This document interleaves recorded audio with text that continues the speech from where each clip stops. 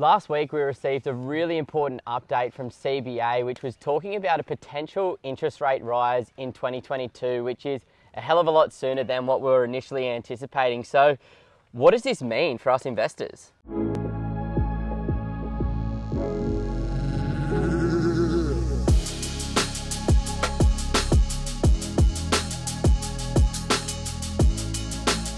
Look, I think it's really, really important for people to take note of this one. Um, as you said, man, like the Australian government during the COVID year of 2020 sort of suggested that they were going to leave the cash rate, mm. which effectively the cash rate is the rate that the Australian government lends money to the banks. So, like the Reserve Bank of Australia, right now it's at 0.25%, right? Exactly. And so they sort of said that as part of like the rebuilding the Australian economy, getting things back on track, they would literally leave this cash rate low mm. until 2024 and that meant for a lot of investors that we were hoping that interest rates would stay steady as well. But yeah because the Australian economy is literally on fire again at the moment with so many good things happening like unemployment coming down, mm. massive government spending, 500,000 Aussies moving back to Australia last year, which we definitely didn't expect. Yeah, that, that's sort of led to a massive undersupply of, of quality skilled workers as well. And one of the major reasons that we read in the report was indicating that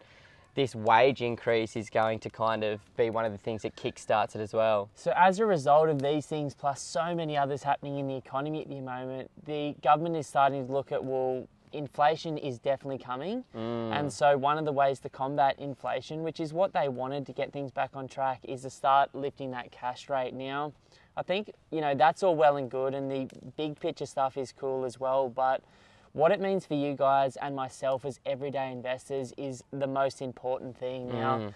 the number one thing that gets investors into trouble is when they can no longer service their loans or their ability to service their loans becomes more difficult. So if you look at a movie like The Big Short, which effectively is like the reason or the why that we got to the GFC, yeah. you know, effectively the only thing that happened in America is loans were given out to people and interest rates increased or they lost their ability to go and remain on interest only and they went to principal and interest again and people started to foreclose or not be able to pay their home loans. Yeah, so interest rates have always gone up and down and up and down. It's really a government's way of kind of easing economic conditions, right? Yeah, like making it easier for people to get ahead or making it a little bit harder and pulling things in for a while. Yeah, so it's important to understand that with this interest rate rise, like, you know, a lot of people are, are, maybe holding on to positive cash flow investment properties at the moment, which puts you in a great position. But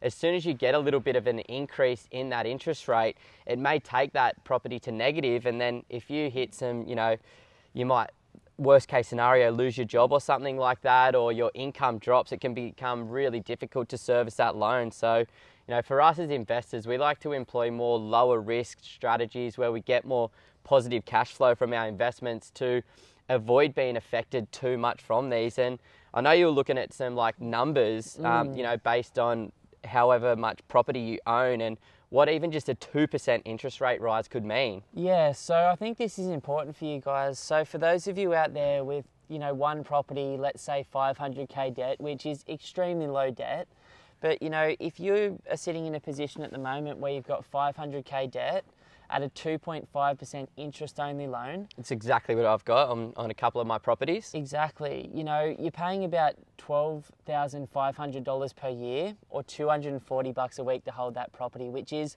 historically, historically low and absolutely insane. Mm. But let's say that by the end of 2022, interest rates are back up to 4% and they might hold at that level for a while before they go up again. You know, all of a sudden, that same 500k debt, you're looking at $20,000 a year of interest. Wow. Or 400 bucks a week. Now, that's manageable for a lot of people, but at different stages of the cycle, not only do interest rates increase, but the ability to stay interest only mm. disappears, and banks will no longer allow people to stay interest only because their balance sheets look mm. shithouse as well, and they want to start clawing back money. Mm. But you know, I know a lot of investors listening to this have significantly more, especially myself and Simon, and many of our clients more debt than just 500k. Mm. So if you're carrying two million bucks worth of debt at 2.5%, that's 50 grand a year or a thousand bucks a week. Yep. Now, for many people, you know, that are carrying that much debt, that is very manageable with the rent plus their wages. But if that $2 million of debt went to a 4% interest rate, you're now looking at $80,000 a year to carry that debt or 1600 bucks a week. Mm. Now 1600 bucks a week is just one or two tenants not being in a property for a month or losing your job for a couple of, a couple of months away from being a really really negative financial position and that's why I think it's important for those of you that aren't planning to buy more property at the moment to know that these rates are coming and to start talking to your accountant or your financial advisor or your mortgage broker hmm. about good solutions for you to make sure that you've got a kitty for a rainy day Yeah. and to make sure you're in the safest possible position because whether we like it or not, these interest rates are definitely coming. As Simon said, it's the number one handbrake they can start to put on inflation. But that said, the Australian government doesn't want to completely put a water on the fire at the moment. They want to continue for things to run for at least another three to four, maybe even five years from today to improve things again. It's just important to note this, especially if you're in a position where you're not just looking at a rate increase, but moving out of the five year interest only period into a principal and interest time too, because your 80 grand a year at 4% on 2 million bucks with principal could be like 120 grand a year, like well over 2,000 bucks a week. Hell, so like what I'm doing in preparation for this is trying to build up those buffers for a rainy day, and also try and increase the rental income in some of the properties as well, which you know can be done in a bunch of different ways. Maybe through a bit of a renovation. Um, you know, if you're in a position to maybe add a bedroom or a bathroom on a house, that might be a great way to do it. Or if you've got a house in a location where you can maybe build a granny flat in the backyard and rent it out separately, or knock it down and rebuild. You know, there, there's lots of different ways, but just getting yourself into that safe position where, you know, if something does go wrong, you're not forced to sell that property because, you know, referencing the movie The Big Short, you know, that's what happened at the top of the last cycle. These interest rates got to a point where people could no longer service the debt and they're having to force sell that property for, you know, cents on the dollar and end up in a really bad position. For sure. You know, one of the things that I've just been doing is just even asking my property manager across my small portfolio to just increase my rents without touching it because I know the vacancy rates are very low everywhere except Sydney CBD and Melbourne CBD in Australia right now. Mm. You'd be surprised, like, tenants don't really have an option in many parts to not pay an extra 20 or 50 bucks a week, and that just might be the difference that helps you out. I know some of the boys in our office and some of my friends Simon as well. Like Yeah. you've looked at fixing some of your loans to give you security for two or three years on ones that you don't plan on paying anything off. So there's a whole heap of different ideas out there, and there's heaps of good videos on this. But we wanted to bring you this now, so this isn't a surprise in a year or two's time when mm. it does come through. And when I started investing, I know that I was paying like seven to eight percent. So even a four percent rate is insanely low Yeah. long term.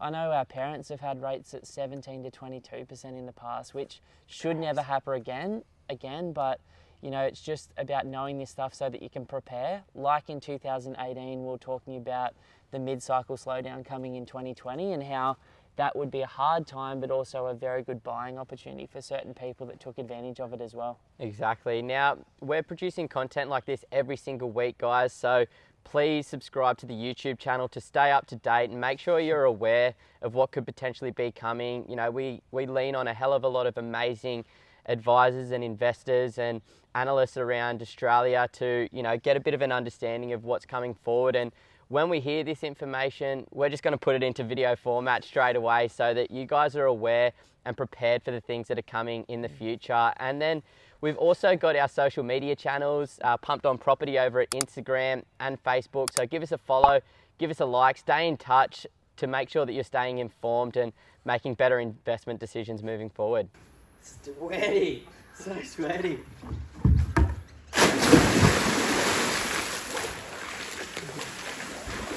Oh, that's good.